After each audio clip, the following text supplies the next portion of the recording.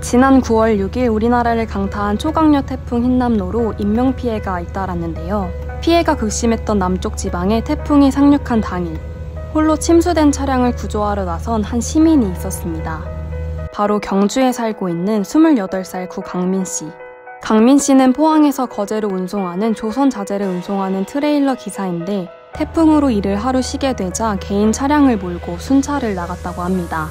돌아다니다가 나정교 사거리에서 이 화물차가 들어가던데 네. 승용차도 안 들어가겠나 싶어서 수차를 들어갔는데 이제 차가 한 대 빠져서 있더라고요. 어깨도로에.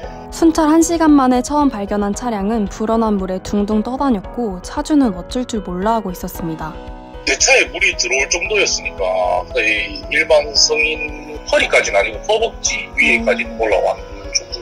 거의 귀가 뜬 채로 사람이 밀어도 밀릴 정도였으니까. 평소 오프로드가 취미인 강민 씨 차량에는 오프로드를 달리다 다른 차가 빠졌을 때를 대비해 항상 민치와 밧줄이 실려 있었습니다.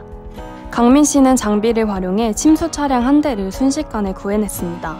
그리고 다시 순찰에 나섰습니다. 멀리 가지는 못하고 네네. 물이 없는 고지대 쪽으로 옮겨드리고 나와서 돌아다니다가 경주 톨게이트 앞에 물이 많이 차서 전면 차단이 됐더라고요. 제가 알기로 거기가 이번에 침수가 처음 된 걸로 아는데 잘 몰라서 그런가 뭐 많이 들어오시더라고요. 거기서 이제 그날 차가 많이 빠졌죠. 대략 한 7대. 사실 강민 씨가 구조 활동을 한 건 이번이 처음이 아닙니다. 강민 씨는 비가 올 때마다 침수된 차들을 구조하러 다녔고 그래서 별명도 아쿠아맨입니다. 매년 태풍 오면 오프로드가 취미이다 보니까 오프로드 차를 타고 이제 돌아다녀. 빠진 차가 있으면 던져주고 그- 그게 저희 뭐 취미생활의 연장선이라고 하면 되겠죠. 매년 했는데 원래는 이렇게 피해가 많지 않았어요. 아시는 분들 전화오고 이러면 한 번씩 꺼내드리고 이러는 게 다였는데 올해도 매년 해오던 것처럼 길을 나섰다고 합니다. 운전하는 사람이 뭐 차가 그렇게 모통이 돼버리면 많이 애타고 답답하고 처음 접하시는 분들 무서울 수도 있으니까.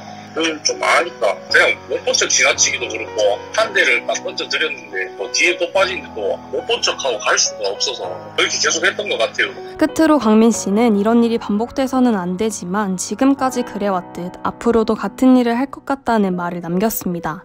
저는 그냥 매년 해오던 거라서 그냥 계속 할 것 같아요 강민 씨는 좋아하는 일을 계속 한 것뿐이라 했지만 운전하다 폭우에 갇힌 시민들에게 강민 씨는 어디선가 나타난 슈퍼맨과도 같았을 겁니다.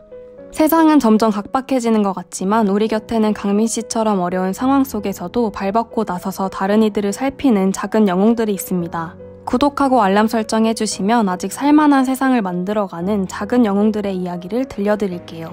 오늘도 영상 봐주셔서 감사합니다.